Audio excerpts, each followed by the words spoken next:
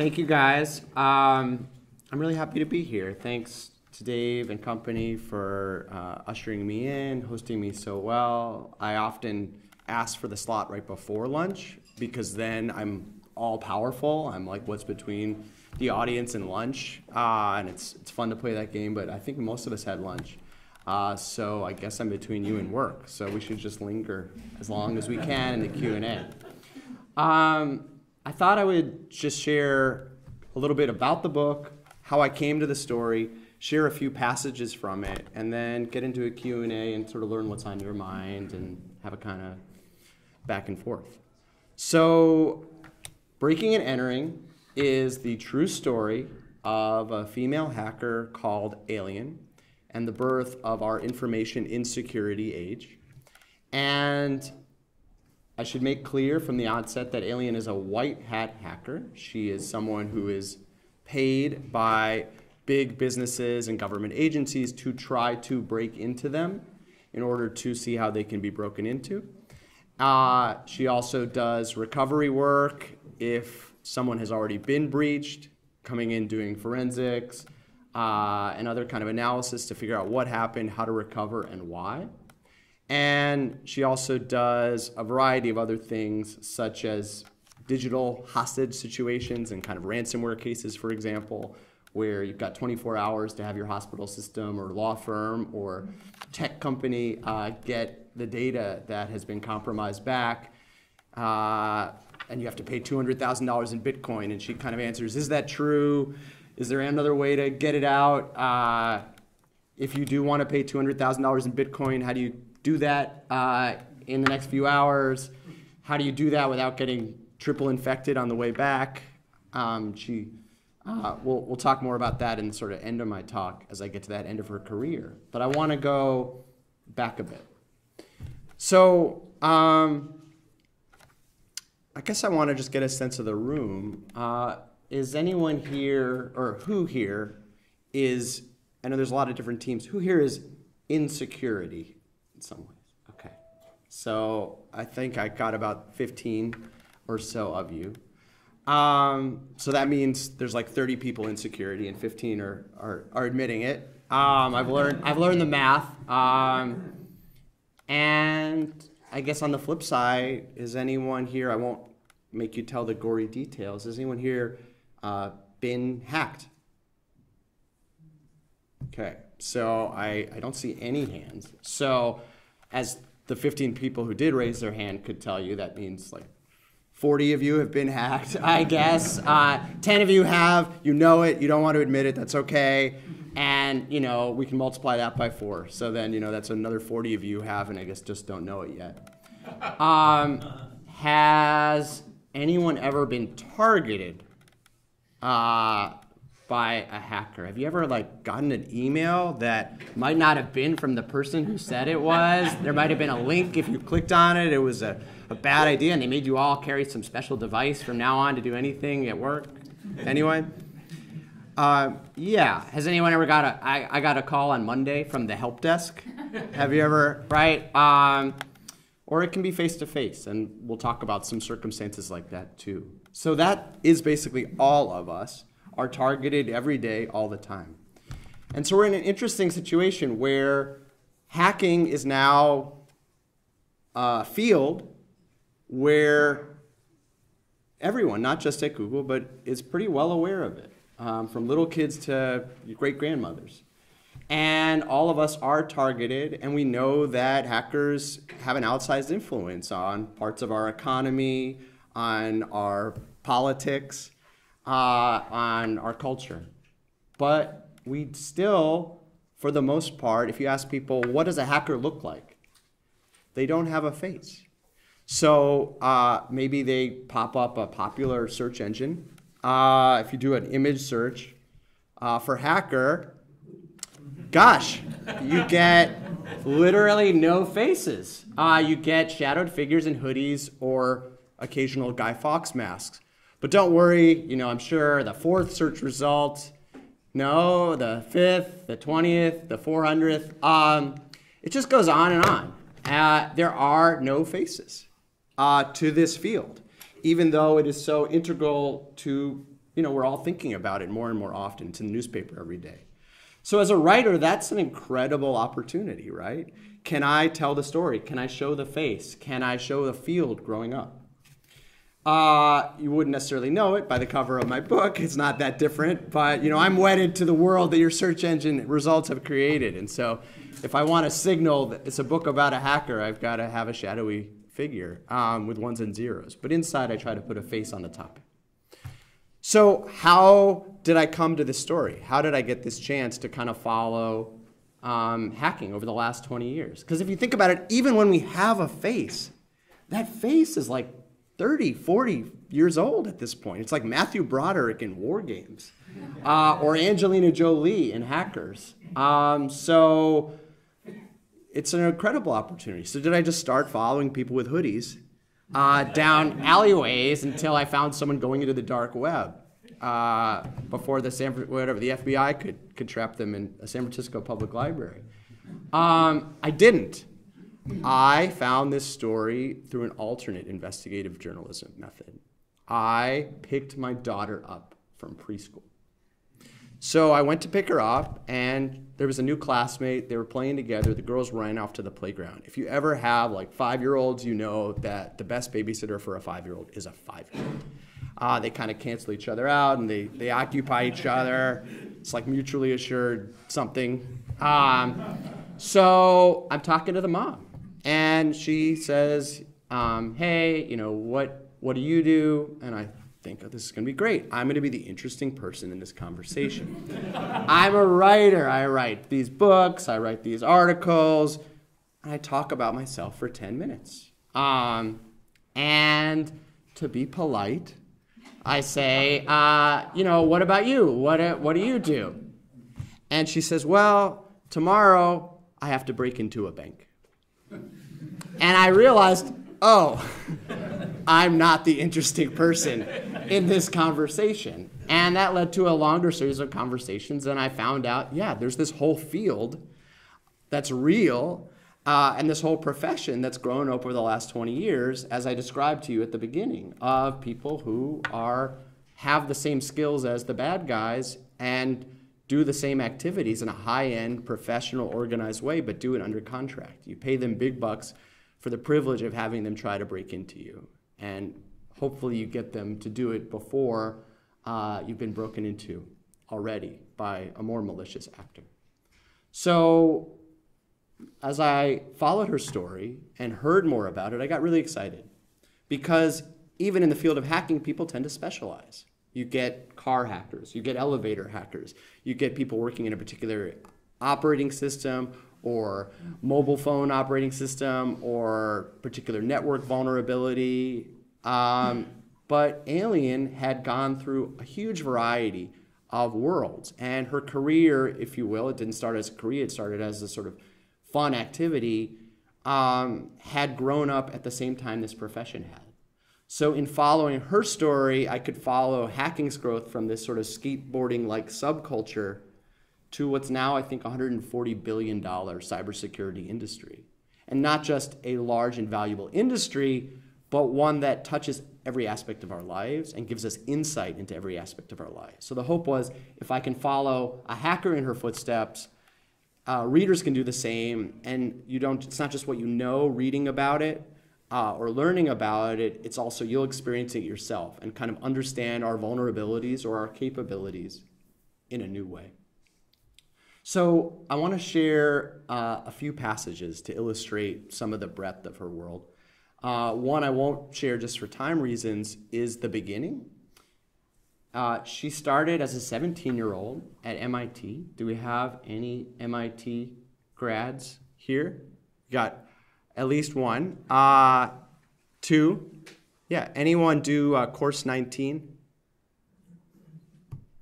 I got a smile and I got a puzzled look. So at MIT, majors are called courses. So what what was just what was the name your number? What was the no, what was your course? Course 18, which is what? Course 18, math. What was your course? Six three. Course 6-3, which was Computer science. computer science. Okay. So they're numbered and they go up to like 24. 19 is not an assigned number. There is no designated course 19, but unofficially, course 19 is hacking. And hacking at MIT predates computers. It does not directly refer to computers at all. It refers to physical exploration. So I was familiar with part of this tradition. There's this tradition of elaborate, ingenious physical pranks, like getting a police car on top of the dome at MIT, uh, or having a complete living room set, couch, you know, um, liquor cabinet, even a cat, a newspaper, uh, upside down uh, on the uh, arch outside the media lab at MIT or a working Tetris game that's playable on the windows of the tallest building on campus. And I was familiar with these hacks, but I wasn't I didn't think about the foundational skills needed to do that. You don't just kind of get up at, you know, noon or 8 or, you know, 9 at night and say to your buddies, "Hey, we should put a police car on the dome." Maybe you do that, but you're not going to pull it off. You've got to be able to pick locks, sneak past security guards, climb on ledges, uh, disassemble and assemble a car. You've got to be able to do that in the dark. You've got to be able to do that with a small group of people you can really trust to keep a secret. And you've got to be able to get in and out. Uh, and the same thing with the Tetris game, the same thing with the living room set, the same thing with all these other hacks. And there's pulling a, a hack is the, what I just described, but going hacking is totally different. You're exploring uh, for the sake of exploring. You're going through steam tunnels. You're going along ledges. You're climbing up elevator shafts. You're finding hidden or unused spaces inside of the buildings that everyone else takes for granted and sort of goes through as a, a normal civilian. And that's exciting, it's perilous, um, and it has this direct analog to computer hacking. You know, where you're also getting into forbidden spaces. You're also um, working off label with what somebody else has created. If an inventor creates something new and an engineer builds to spec, a hacker creates something new with something someone else has built to spec. Um, so you're often knowing spaces in a way that the creator themselves didn't. And that's a direct analog to computer hacking we know today. She goes from that world into computer security as it's becoming a new field. And I thought I'd read a short passage from a section where she is working in information security. It's about 2005 in a hospital system, one of the largest hospitals in the country. We're aware, especially now, uh, that everything that is a computer can be hacked and that everything is a computer. But it still is different to know that uh, and to experience it firsthand. So, for example, in a hospital, you're connected on average when you're in a hospital bed to about 11 different medical devices. Those have a network card usually. Those have an operating system. It's usually built on Windows, uh, maybe a little more Unix in the past. Hey, maybe uh, Chrome or uh, you know stuff right now. And that means it's going to have the same vulnerabilities that those systems have. Hospital equipment is also often bought on a 15 to 20 year time cycle because it's millions of dollars.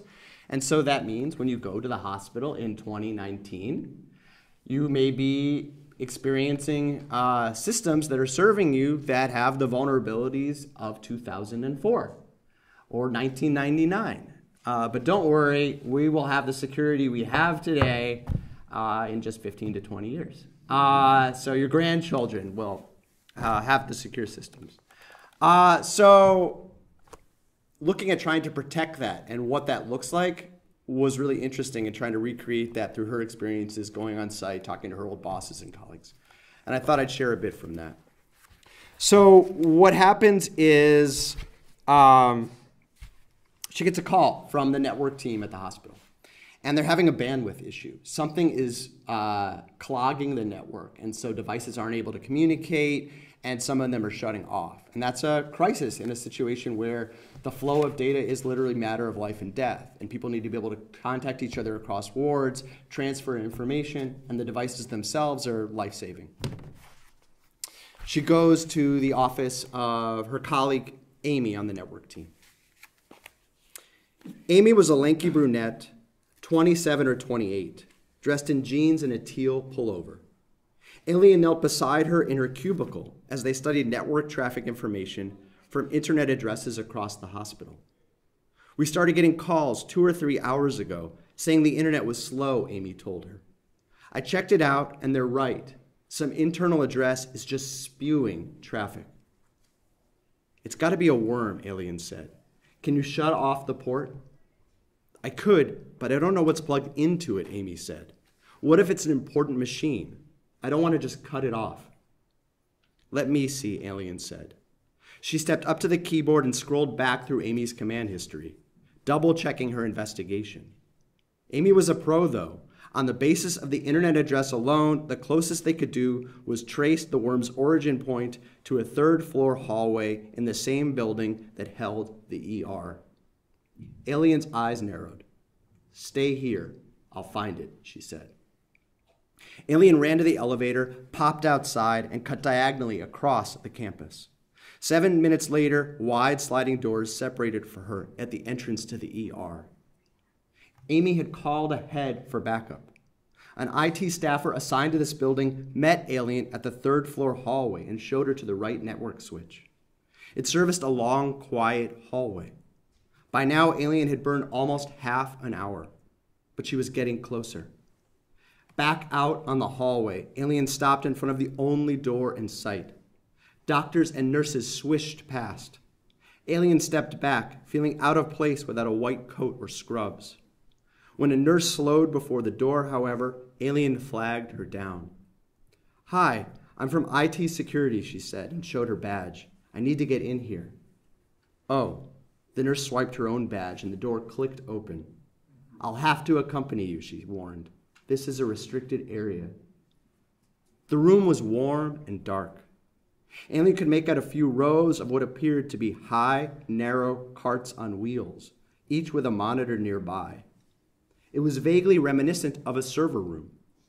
But her entire concern was with the network ports located close to the floor. Alien dropped to a crawl. Using the same mag light she'd had since her freshman year at MIT, she swept the walls, looking for the guilty port. 20 seconds passed. 40, 60, Finally, Alien's beam illuminated a yellow plastic port cover to which someone with a label maker had attached the alphanumeric name of the infected machine. Alien smiled in triumph and relief. She used the maglite to trace the black Ethernet cord coming out of the port. It led to a profusion of other plugs and cables entering the back of the machine closest to her. She'd page Amy, and Amy would alert their bosses. They'd get the problem diagnosed as soon as possible, before the machine infected anything further. Alien stood up. She felt the nurse touching her back gently to get her attention without speaking. Turn that flashlight off, please, she asked in a low but firm whisper. It was more a command than a request. Alien obeyed. She felt a sense of alarm, even dread. Had she done something wrong? Where were they? There weren't any patients in this room, she had thought. It had no beds, only more machines like this one. Her senses suddenly heightened, however. She now heard the sound of slow breathing all around her. For the first time since her eyes became accustomed to the dark, Alien took a look around the room. On each of the wheeled stands was a teeny pallet enclosed by clear plastic. The pallets she saw now held teeny blankets and under each blanket was a baby, a teeny one, sprawled out on its back and head turned to one side, all wired up. These newborns were essentially on life support and fast asleep.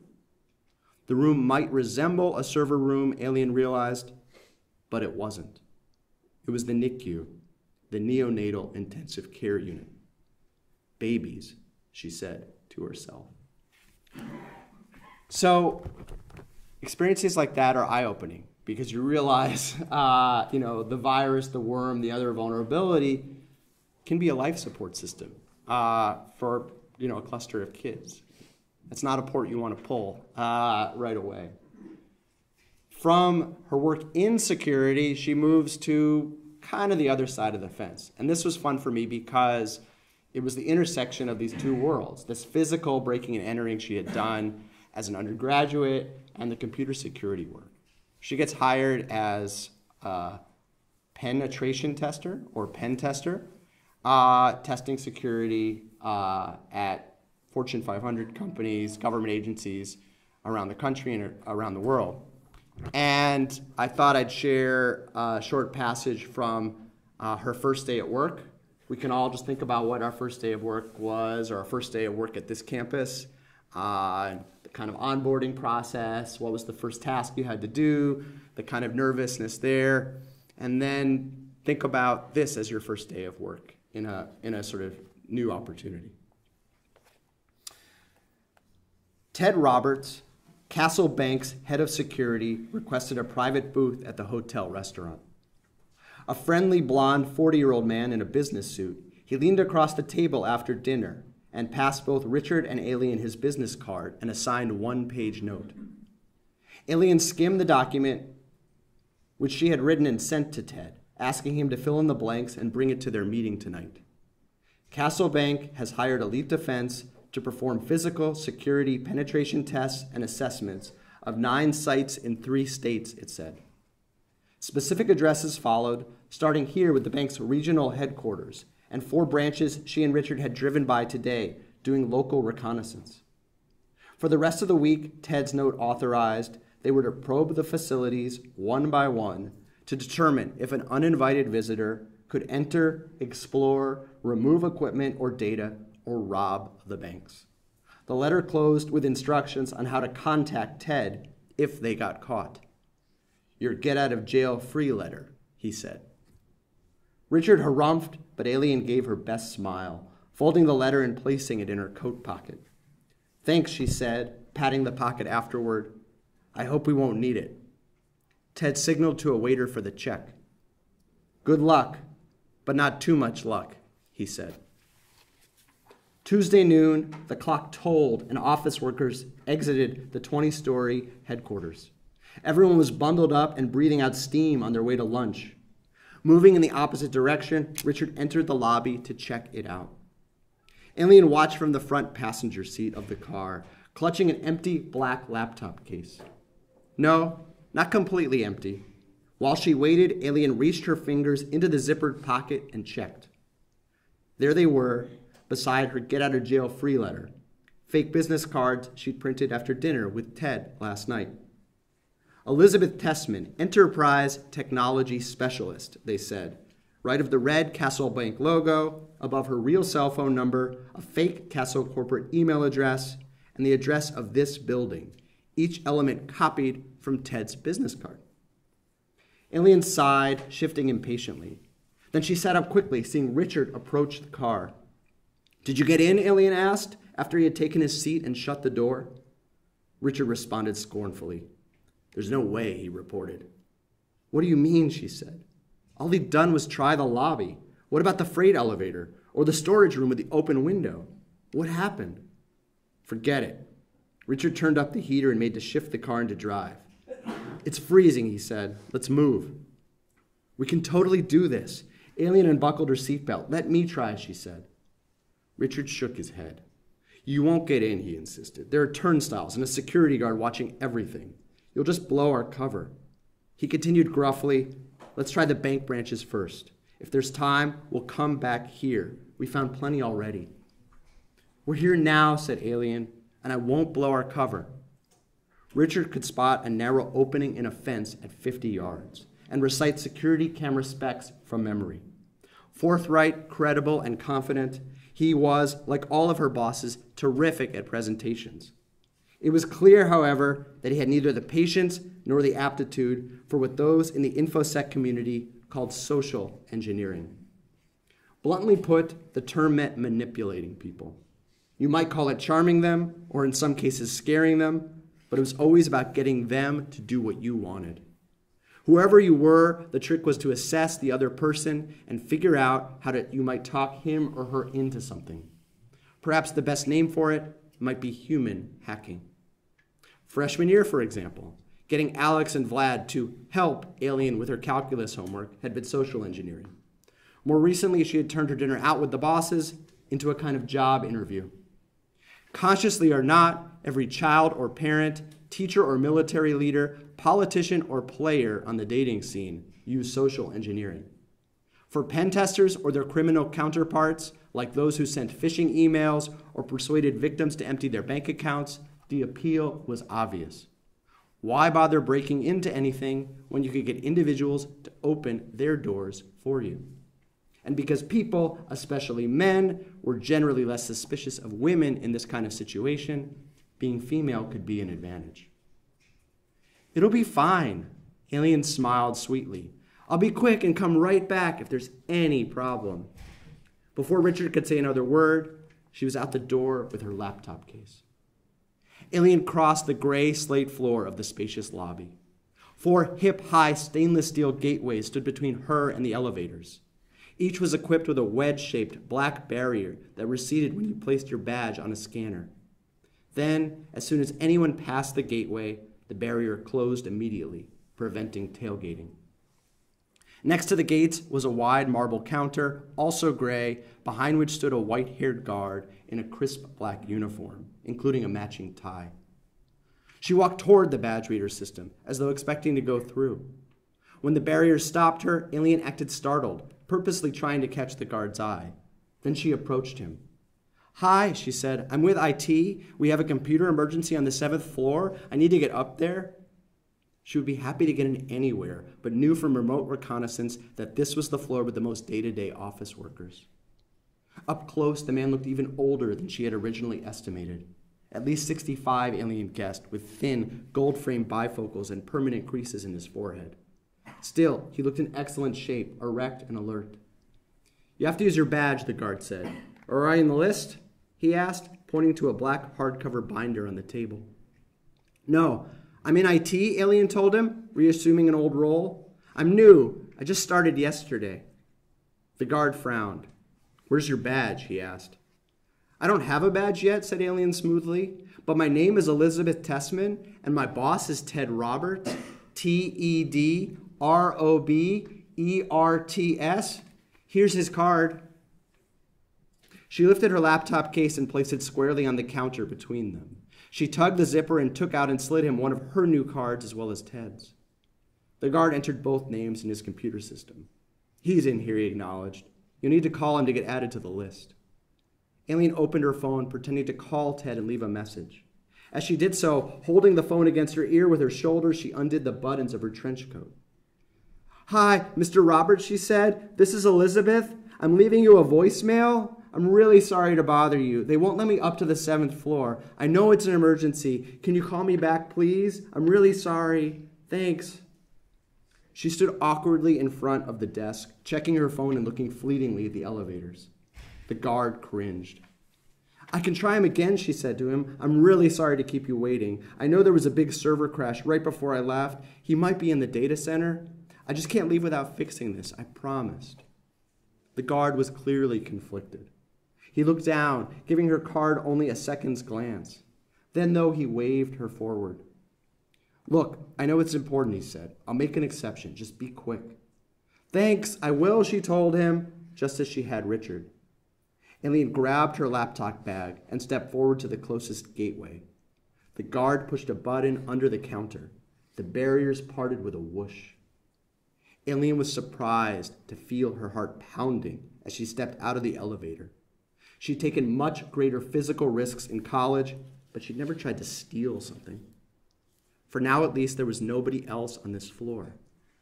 Alien moved quickly. Most workspaces she saw were cubicles containing white desks separated by six foot freestanding gray walls. At the perimeter of the floor were the larger individual offices of middle level managers with glass walls and doors. Occupants of the cubicles personalized their space with photos and trinkets. On every desk was a black phone and a Dell laptop connected to an external keyboard and monitor. Alien hefted a few laptops. All were secured with cables. She decided to try the manager's spaces, starting with a corner office with an unimpeded view of the downtown. It had the same computer setup, though on a larger gray desk. She lifted the laptop. No cable. Alien heard the elevator ding, announcing the return of the first of the employees from lunch. Two men chatted as they went to their desks, not noticing her. She slipped out of the corner office with the laptop and walked past two more employees. Alien was positive she looked as guilty as she felt, but these employees ignored her too. Her heart was beating harder than ever. To a bank, nothing meant more than its reputation for trustworthiness. The machine might have confidential customer files on it, castle business plans, corporate personnel records, or all of the above. An identity theft ring exploiting that information could make millions. So could shady stock market traders or any of Castle's national and international competitors. And the fines and settlement fees, once a big breach was disclosed, could run to eight figures. ChoicePoint, the commercial data broker, had paid $15 million the previous year for giving up information on 163,000 people. Alien walked to the elevator as confidently as she could, smiling professionally at others as their paths crossed. Everyone else wore a rigid badge with their name, headshot, and the castle logo clipped to their shirt or waistband, so she shielded those areas with the laptop case. The elevator opened back in the lobby. Did you get it taken care of? The security guard asked. Yes, thanks so much, said Alien, giving him a thumbs up. She crossed the street, opened the car door, and slipped back inside the Taurus. Nada, Richard said in a told you so tone. I did it, Alien said. She zipped open the case. I got a laptop. What? Richard's eyebrows rose as he beheld her prize. Holy shit, he said. So they call that uh, M&M security. It's hard on the outside, soft in the middle once you get past the outer defenses. There's a lot of uh, good stuff to take. I talked to a, a penetration tester who was one of her colleagues for a while. You want to guess what his specialty was? Social engineering. Social engineering is the way in, but then what does he what does he specialize in? Shred bins. He's like, shred bins are the greatest. They take all of their most confidential information. They put it in one place and then they put it on wheels. Uh, I was like, nobody ever caught you? He said, well, you know, once I was wheeling one out and the guard stopped me and I froze. He said, hey, what are you doing? And I just raised my hands and he said, that goes down in the freight elevator. Uh, so um, definitely made me look a little differently at shred days at my bank, uh, things like that. So you start looking at things differently hanging out with these hackers. Anyway, you rob a laptop from corporate headquarters on day one. You get promoted pretty quickly if that's your new job. She's soon talking her way into bank vaults themselves, then doing computer stuff from like internet cafes, getting into an airline reservation system, doing recovery for a breached government, you know, taking a sort of antennae on the highway outside of a major defense manufacturer and, you know, sort of whisper, sucking their data onto her computer, uh, and so on and so forth. Eventually, she starts her own company and sort of not on purpose so much, but as this industry grows up and becomes a bigger and bigger field, takes on new employees and becomes a manager and then a CEO. And she has this sort of new generation of hackers uh, that she's sort of trained and, and brought up under her wing.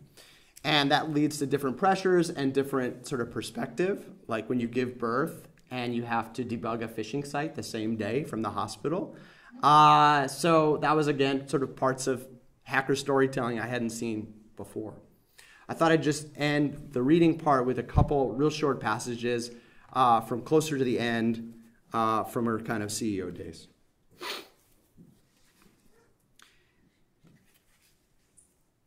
Alien uh, sorry, Luke, Gus, Cheryl, and two new pen testers gathered around the break table discussing their latest work with client 0666, a vast retail chain that needed remote and on site penetration tests, mobile and web app assessments, and a security review of its credit card processing systems. Who's on site now? asked Alien. Milo, Gus answered. He cracked their wireless network from a cafe inside one of their stores and then wormed his way into the company's central systems. He got root on the badge printing system, said Cheryl. He could add his name and photograph to the badge system and give himself access to any building, any room, you name it. one of the new pen testers piped up. We found this internal database that had the entire shopping history of every single customer. Every customer? asked Alien. She shopped at 666. Everybody did. Gus hemmed. Cheryl tittered. What? said Alien. We found you, Cheryl said. The earliest entry was from 1993. Ancient history to the 24 year old. Congratulations. Alien opened the fridge and grabbed a water bottle. She pictured the entire break room papered with her life story as told through 666 receipts, from her first bra to her daughter's crib. Last one. In mid September, Treeline Bank called TSC, it's the pseudonym I use for her hacking company, on behalf of one of its customers, a construction company based in Salt Lake City.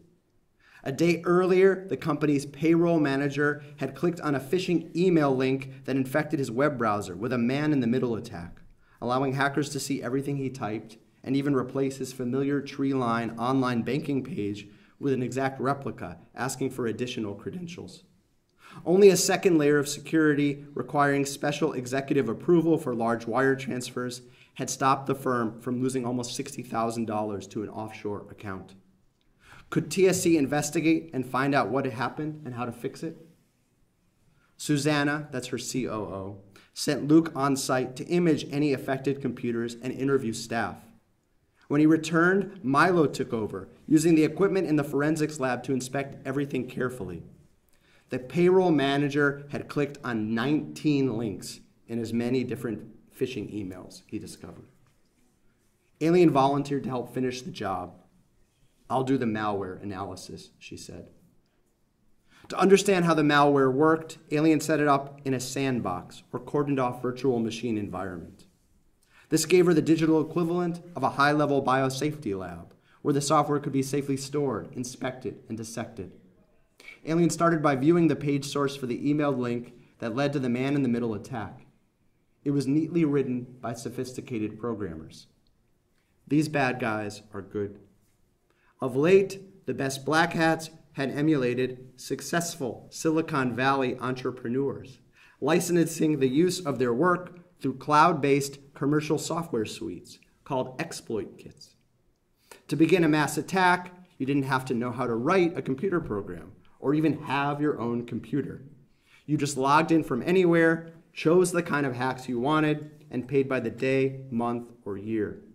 Some black hat services accepted payment by, by deducting a percentage of the take.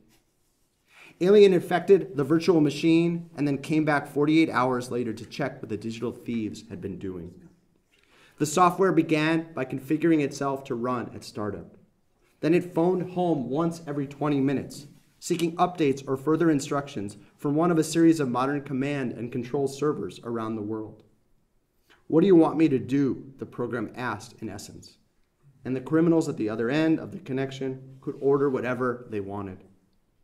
It's impressive, she told Susanna afterward, and more than a little frightening, not just in itself, but for what it portended. This wasn't a solo hit and run operator, it was the work of a group of professional hackers, just like TSC.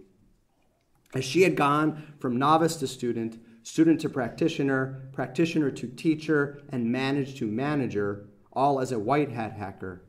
Black hat hackers across the globe had followed a parallel path, organizing their operations, establishing reputations, and finding clients, and bringing in money to their communities.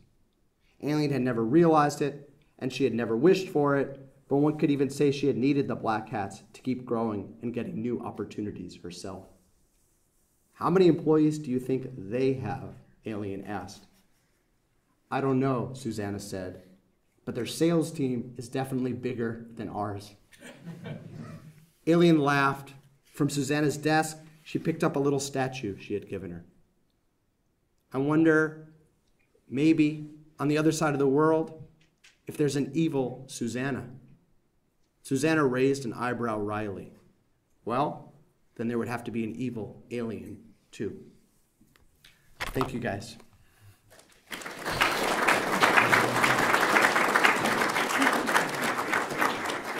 so that's a kind of a taste of some of the scope and the stories and the kind of evolution in the field and in her life, trying to use the storytelling style to kind of express that.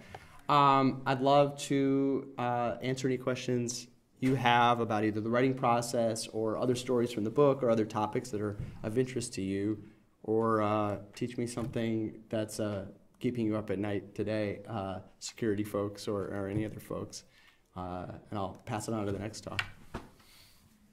Um, comment on what's unique or different or interesting in particular uh, about, yeah, uh, her experiences as, as a, a woman in this field. So, yeah, I mean, she gets that job breaking into banks by taking a security class. And the instructor there is one of the leaders of, you know, a major pen testing operation. And when she goes into that class, it is herself, and there are 19 guys. And so that's a very different experience. And people, when they start the contest at the end of that class, which is sort of a hacking contest, uh, the guys kind of shove her aside, and she, in that situation at the beginning, shoves herself aside, or at least lets them take the lead. She's used to being outnumbered, and she's used to being at MIT where as she put it, you know, guys were taking apart, heli- building helicopters with their dad when they were four. You know, everyone was like 15 years ahead of me when I was a freshman.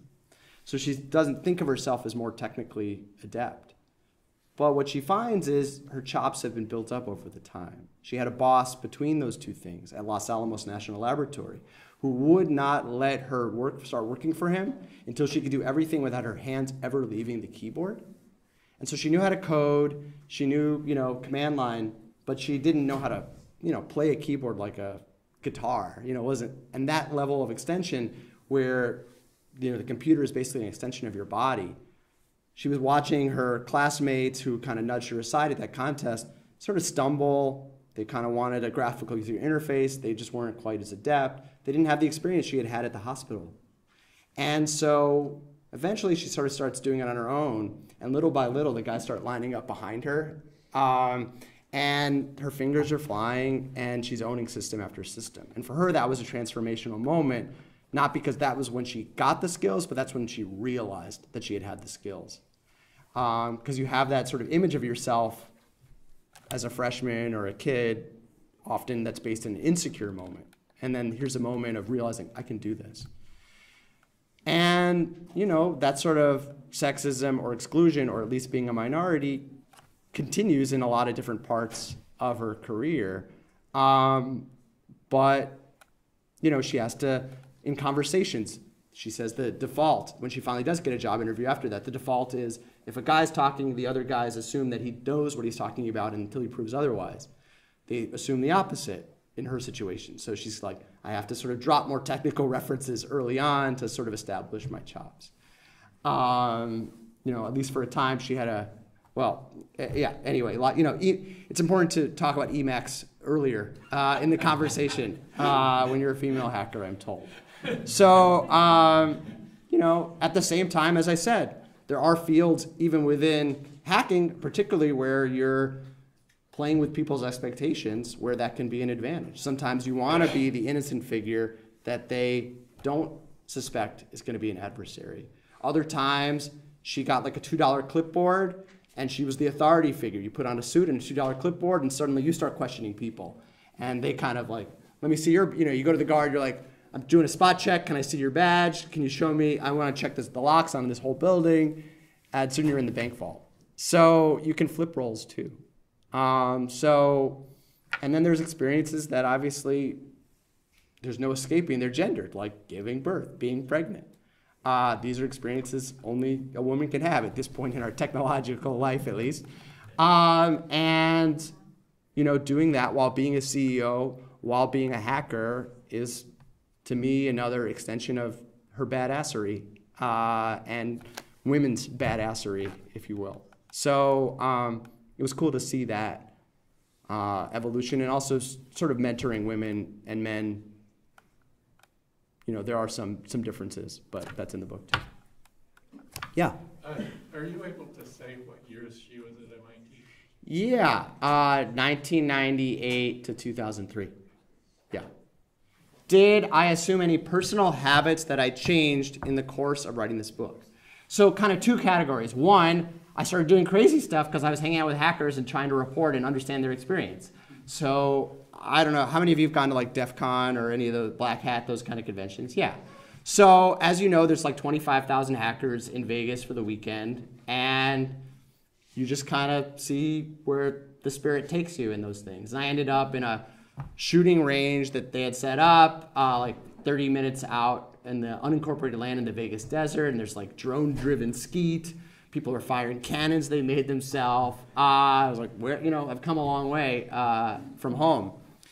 I also climbed up on the domes at MIT and the ledges and did that kind of stuff. And I got a tour through Los Alamos National Laboratory, which is crazy, right? It's like you're walking through the Grand Canyon, you take a right, and there's MIT guarded by people with machine guns. So, um, you know, those were exciting.